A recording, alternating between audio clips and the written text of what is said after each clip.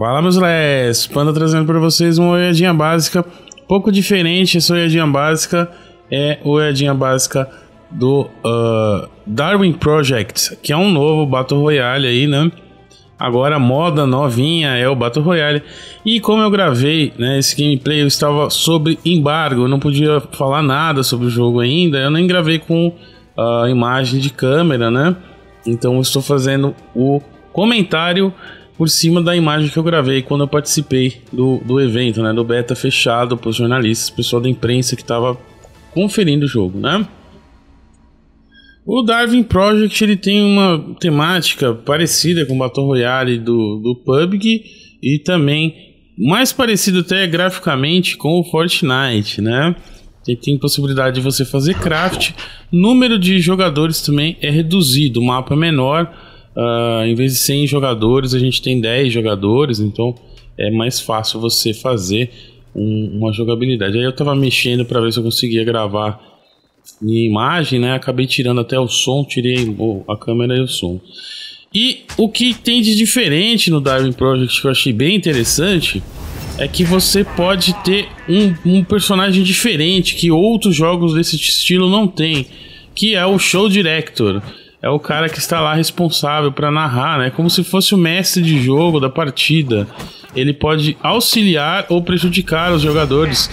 O, o objetivo dele não é vencer, né? O objetivo dele é fazer uma partida mais interessante. Então você acaba jogando como se você fosse o commander do Battlefield. Você não participa da partida como jogador, mas você está lá, né? Você tem alguns poderes especiais, você pode ajudar ou prejudicar os jogadores. Isso eu achei bem interessante. A ideia do jogo, né? Olha lá, você vai pegando coisas, você chega perto do, do sofá, pega para fazer, pega material, coleta recursos, né? Tem toda essa parte de sobrevivência também. E conforme você vai coletando os recursos, você vai construindo tanto armas, ferramentas, tudo para se proteger aí do, do, do, das intempéries, né? Do, do, do gelo, né? Tem muito isso, eu achei interessante esse mapa. Olha lá, agora ativou. Ela falou: Show Director está ativando um Electronic. É um, é um, um negócio que vai modificar um pouco o jogo, né? E como eu tava falando, tem uma parte que você tá com gelo e começa a tomar dano, né? Então começa a perder estamina. Então você tem que fazer uma capa de gelo para sobreviver.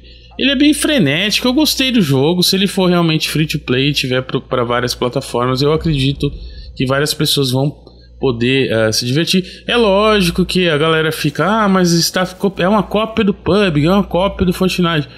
Galera, a, a, indústria é cíclica. O que acontece? Antigamente a moda era fazer MOBAs, né? Até o Paragon também tá, entrou nessa, nessa moda. Depois que o Overwatch saiu, olha só quantos jogos saíram, né? Seguindo o mod de Arena Shooter com campeões com habilidades diferentes vê o Quake Champions, você vê o Lawbreakers, pobre Lawbreakers, né? Então, conforme a indústria vê que ah, agora a moda é fazer um shooter uh, de arena, uh, vamos, todo mundo vai lá, investe e coloca. Agora o PUBG é moda, né? Battle Royale é moda. Então vamos fazer um jogo. Isso aí não é nada de novo, galera. Isso aí, desde que a indústria é indústria, quando fizeram Space Invaders já saiu um monte de clone. É normal, tá? Não adianta você falar, ah, mas é uma cópia. Não o que importa com é que é a jogabilidade do jogo, né? E aqui nesse momento dá pra gente perceber um pouquinho como é que é uh, o jogo com a participação né, de um show director que tenha, por exemplo, nesse caso é um desenvolvedor do jogo e ele tá narrando a partida como se ele fosse o apresentador do, do, do show, né? É como se fosse um Big Brother aí de sobrevivência. E aí, com essa interpretação, fica muito mais divertido. Vocês podem até perceber que conforme eu estava jogando, ele falou Panda dos Games. Ele era um cara, né, que estava narrando e contando o que estava acontecendo.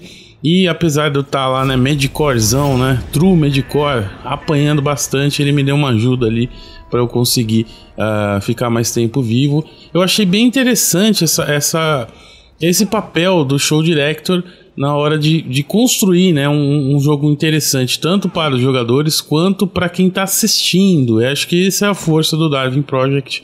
Uh, a preocupação de se criar um jogo desse, de arena, de, de disputa, né, de mata-mata, mas também uh, se preocupando em dar um show interessante para quem está assistindo no Twitch ou no YouTube, né? Não, nós vivemos na era do streaming também, onde as pessoas não só jogam, mas também assistem outros jogarem, né? E, e isso é muito interessante. Então, Uh, esse Diving Project me chamou bastante atenção, primeiramente porque o, os gráficos dele, né, já são, são bem bonitinhos, né, isso quem sabe que eu curto, né, eu, eu gosto de cel shading, eu acho que além de exigir pouco, demandar um pouco de, de, das máquinas, né, pode roda bem nos consoles, roda bem nos PCs, mesmo PC antigo, é, é um estilo de arte que eu gosto bastante. É, esse negócio da, da da roda, né, de, de craft, eu também achei bem legal nesse jogo. A possibilidade de você girar a rodinha e, né, escolher formas diferentes, melhorar. Por exemplo, você melhora a velocidade, craft a uh, flecha para você usar com o seu arco, taca fogo na flecha, um, pega a bota para pular mais rápido, para ter mais stamina, é bem interessante, né? Olha lá, aí o Show Director mandou o Manhunt em um dos caras. Se a gente derrotar ele, a gente ganha um crate. Seria como se fosse um crate, ganha um, um loot melhor, né? Então tem essa possibilidade. O Show Director tem é, essas possibilidades de deixar o jogo mais interessante. É, é, é um jogo legal. Acredito que se não tiver barreira para galera poder experimentar, né? Se puder uh, baixar, experimentar. Teve agora, recentemente, acho que no fim de semana passado ou retrasado, teve um beta aberto e agora já saiu. A gente pode falar sobre o jogo. Né? Estava sob embargo e agora quem participou pode fazer os vídeos, uh, pode comentar o que achou do jogo. E eu recomendo, se você curte normalmente, se você jogou Fortnite, se você jogou PUBG, você curte, dá uma chance pro Darwin Project é um jogo interessante se ele for gratuito, né? Se ele for pago, só se estiver na promoção. Aqui é sinceridade, né, galera? Não tem essa não. Se for, não for um preço muito, 55 reais já acho caro pela experiência, mas for mais baratinho vale a pena. E é isso aí, galera. Espero que vocês tenham curtido essa olhadinha básica aí no Darwin Project. Uh, o jogo tem uma previsão de lançamento, se não me engano, ainda esse ano, né? Eles já fizeram o primeiro beta aberto. Vamos ver como é que vai sair. Tem uma parte ali na hora de, depois, né? Você faz quando acaba a partida, você pode fazer cosmético. Então, talvez eu acredite que eles vão fazer uh, no esquema free to play tentando, né? É, é sempre bom o free to play porque quando o jogo é gratuito para baixar, a barreira para as pessoas experimentarem seu jogo ela cai por terra. Você tem a desvantagem que você não vai receber um, um, você não vai receber de cara, né? O cara baixa o jogo, pode jogar 5 minutos e falar, ah, não gostei, desinstala. Ou pode o cara jogar né? Um cara que nunca jogaria vai lá, acaba jogando e fala, pô, gostei desse jogo, vou comprar uma roupinha aqui e tal, e aí acaba aumentando seu faturamento, né? Então eu, eu sou sempre a favor dessas barreiras reduzidas aí. E é aquele negócio, galera. Se você curtiu o vídeo, joinha ajuda bastante. Se você não curtiu, não tem problema, deixa o dislike, deixa nos comentários aí o que, que você acha dessa febre de, de Battle Royales aí, né? Incrível. O, o, o, o Daisy não acaba, né? Mas já saiu um monte de jogo nessa, nessa vertente aí. Que pena, né? Coitado do Daisy. Vai ficar na história aí. Jogo inacabado. e é isso aí, galera. Valeu. Beijo do Plana. Até o próximo vídeo. E aí, eu tomei a minha derrota. Olha o cara falando. Eu achei muito legal isso, né? O, a parada do, do narrador. Show de bola. É nóis. Valeu. Falou. Fui.